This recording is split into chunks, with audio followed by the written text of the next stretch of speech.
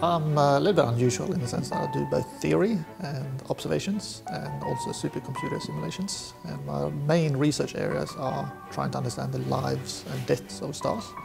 One of the things that we had discovered here uh, in my group recently is that we can use the chemical composition of stars to learn what kind of planets would be residing around other stars. And this is very fascinating because it's very, very difficult to, to identify these small planets around other stars. Most of the planets astronomers have found so far are giant planets. But this is a completely new way of trying to identify stars that are likely to harbor small planets, so more Earth-like planets.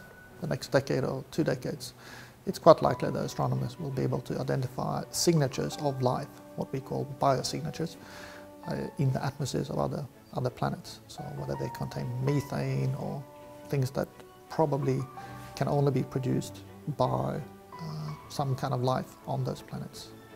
I love uh, problem solving, to, to, tackle really difficult, challenging problems. It's kind of the, the big, big questions. Are we alone in the universe? Where do we come from?